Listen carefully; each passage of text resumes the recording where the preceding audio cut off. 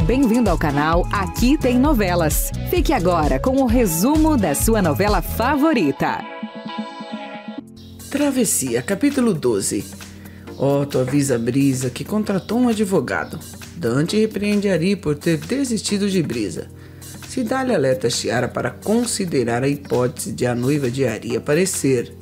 Gil insiste para Ari procurar guerra. Elô vê Stênio e Leonor juntos. Cotinha aconselha Leonor a não ir para Lisboa. Otto avisa Brisa que o advogado conseguiu habeas corpus para ela. Brisa decide ficar no rio para encontrar Ari. Núbia pede a Tininha que cuide de Tonho enquanto ela vai ao rio.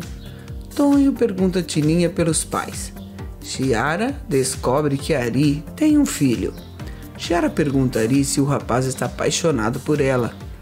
Ari fica sem chão quando Monteiro diz na frente de Chiara que viu o rapaz com Dante em uma palestra que o professor deu em São Luís sobre conservação do patrimônio histórico. Otto espera Brisa ser liberada na porta do presídio.